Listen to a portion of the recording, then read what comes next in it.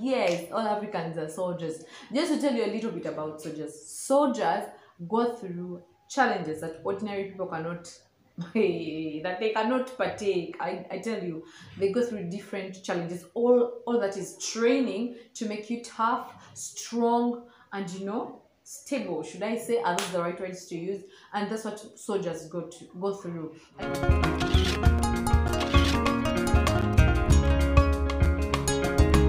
Listen to what I have to say. This is why I say all Africans are soldiers. First and foremost, every soldier will agree that they are called to secrecy. I don't know, do they even take oaths and all that? I have not seen secretive people like soldiers. Oh, yeah, me, I'm one person. As long as, for example, if I'm traveling somewhere and in a bus there happens to be a soldier, I'll start talking, speaking my mind, telling them what I think. I'm like, you guys, what, what? I open up. But those guys are so hard to look at. You, hey, you cannot get you cannot get information out of a soldier if they do not want so that is what happens in an african home hey let me tell you something in an african home they tell you never say things of the house to anyone who's not a member of a family do not talk things of your home outside the home. Should you do that? That is a rule number one. I know most of you africans can agree. If you didn't eat you don't tell neighbors we didn't eat. How for us you don't have you don't. First of all they'll tell some people will take advantage of your situation. Also i don't know okay this is an I, it, it has good side of it but i also think it comes with uh, some little negatives because sometimes you may miss out on people who would be of much help to you okay? But they tell you never say family things. Secrets or not you're not allowed to say them out. Never. Do not talk your family out outside the home.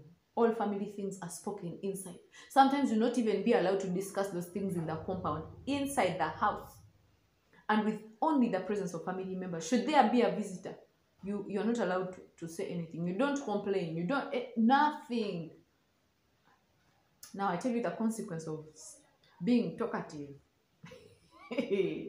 Just talking family things anyhow.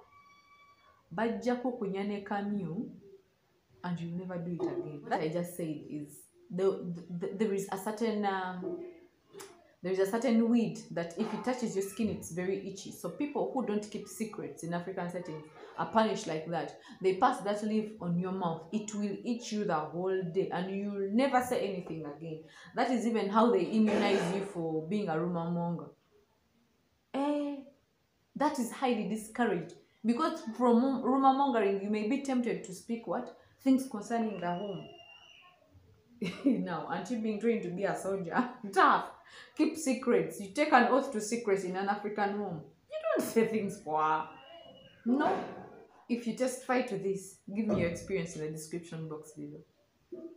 And mark you this is not torture. I tell you this is tough training. African homes are hey they they breed soldiers. This is tough training. African parents have tough love. Tough love.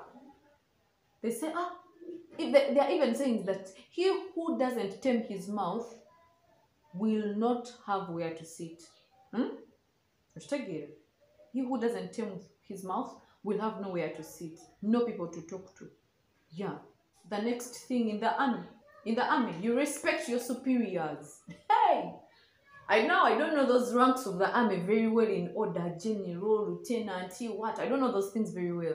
But in an African setting, eh, you is you respect your superiors, your elder. Hmm? For example, should your elder brother tell you to do anything and you reply, I will not do it, or this you anyway should have any sense of disrespectfulness to your elder? Hey, they will ask you, are you are you the one who who planned that trip? Uh-uh.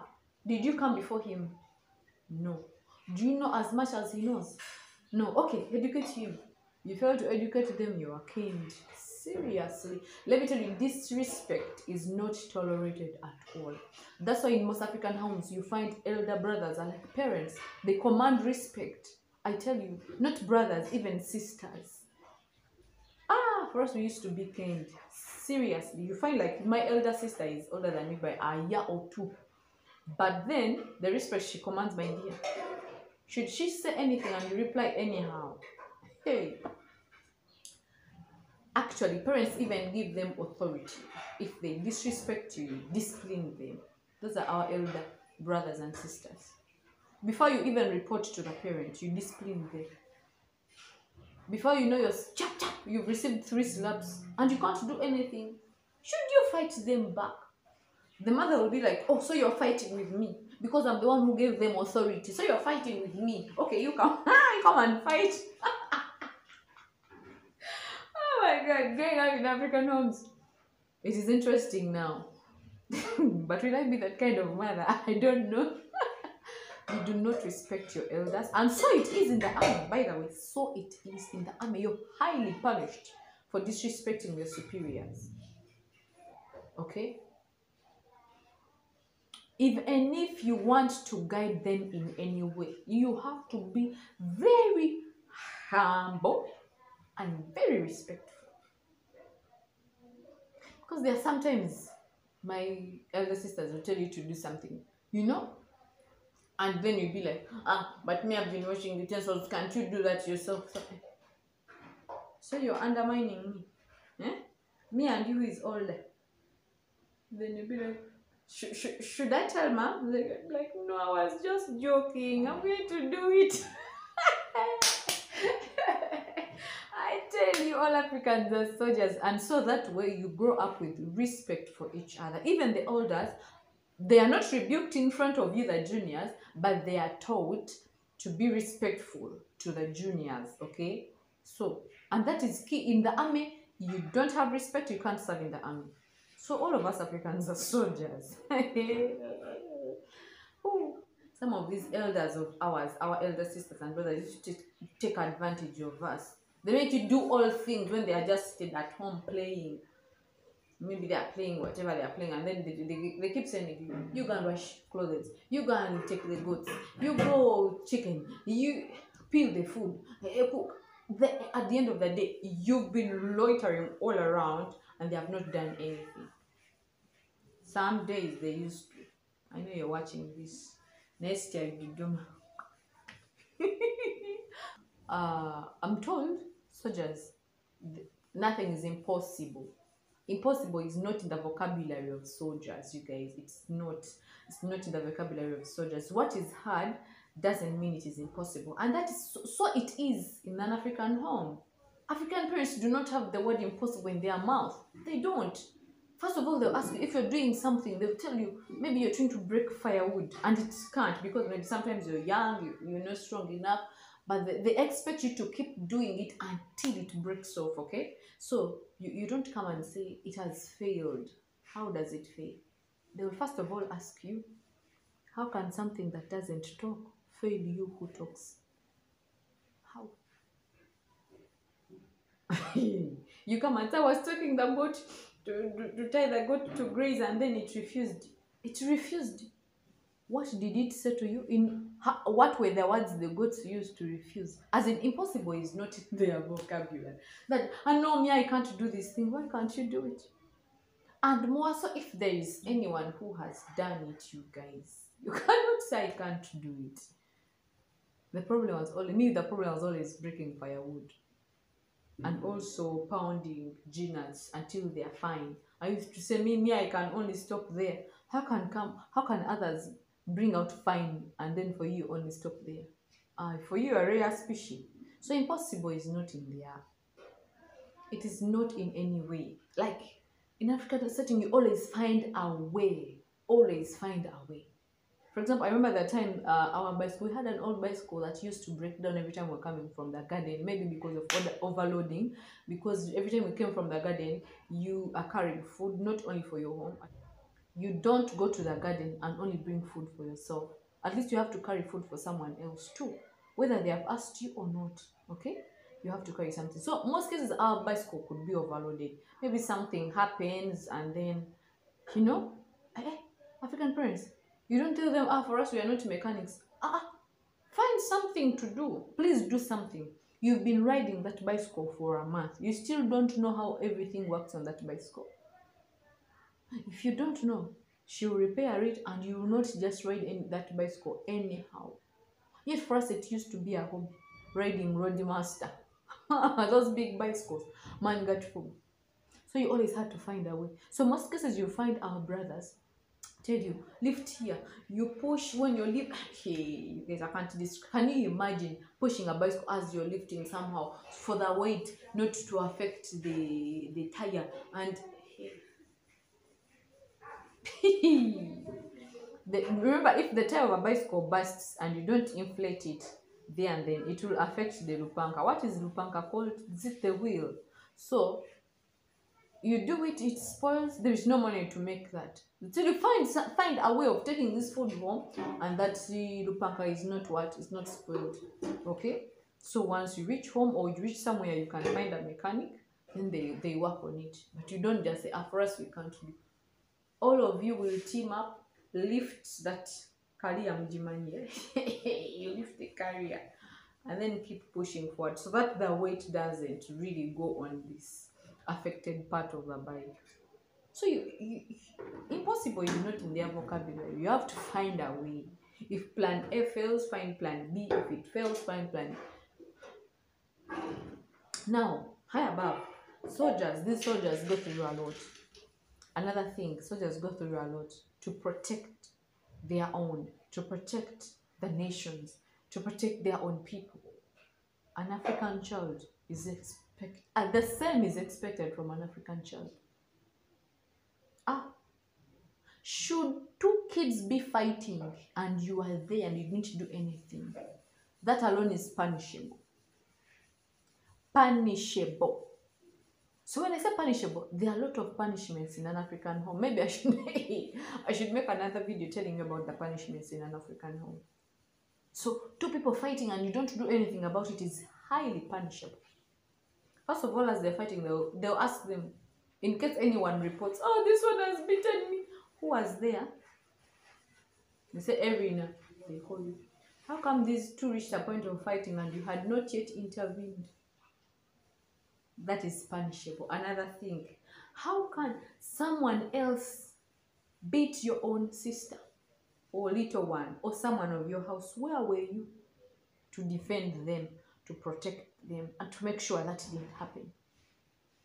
That is punishing. I tell you, I tell you.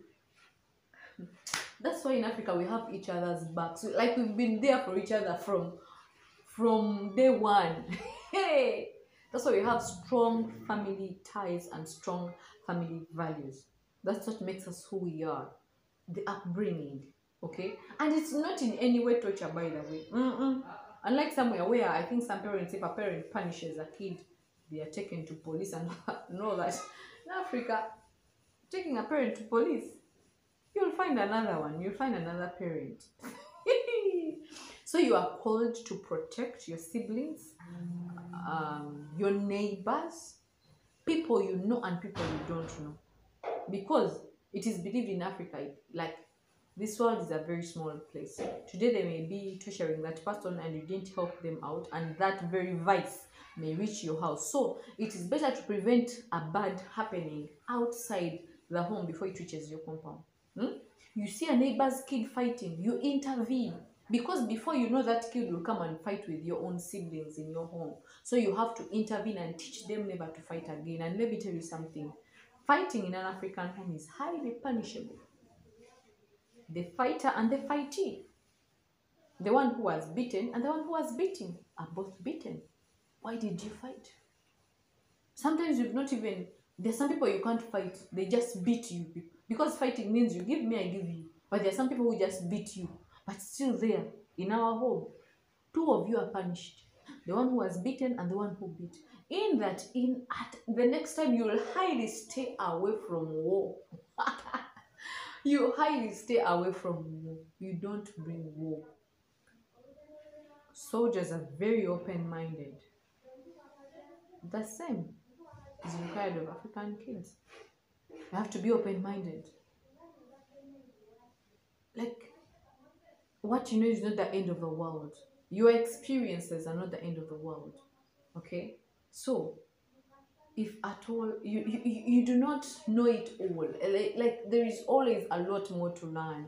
That is what they put in you, that is not enough. Okay? They will tell you, oh, oyo asuubira nti amanyi byonna musiru. He who thinks that knows it all is what? Is a fool. And also he who thinks that the past experience will be the same as this experience is also a fool. That means you always have to be open-minded you don't know what you're going to what you should ex- expect something new like new challenges new like you know? Be open to opportunities open to new challenges and all that. You don't say okay i went through that last time and you know last time is last time. This time is this time. Tomorrow will be tomorrow. Inside me tell you so that encourages a lot the love of learning. They tell you okuyiga tekukoma learning never stops. And the soldiers are the same. You do not give up on learning. You don't stop learning once you are a soldier. You learn until you're dead. And that should be a law of life. You don't stop learning whether you're a soldier or not. But for us africans we are, we are privileged. We are all soldiers. So you don't stop learning. Until that day you give up your breath so like i told you soldiers are mainly called for service. This is selfless service. You highly you regard others with high in high regards.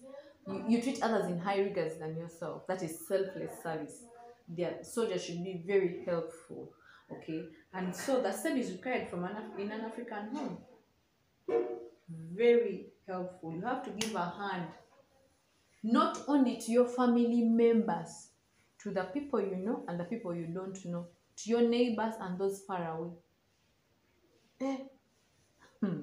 that's why you grew up if you're going to fetch water for yourself and you have neighbors who are aged people old in age maybe because sometimes you know when this schooling started some old people don't stay with their children sometimes the children are at school or something but in the holidays hmm?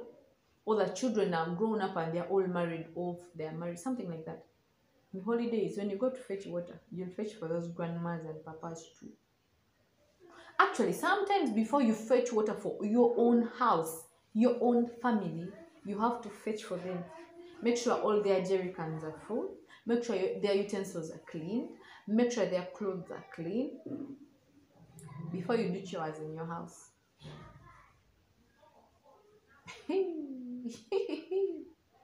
then they tell you should mommy go and check and there is no water in the old woman's house?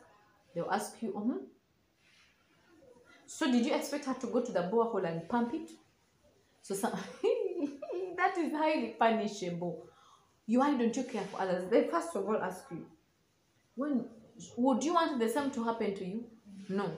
And they, they'll ask you if you're sick because most cases when you are sick you don't do chores at home. When you are sick also when you get sick should we take you to the well to fetch water?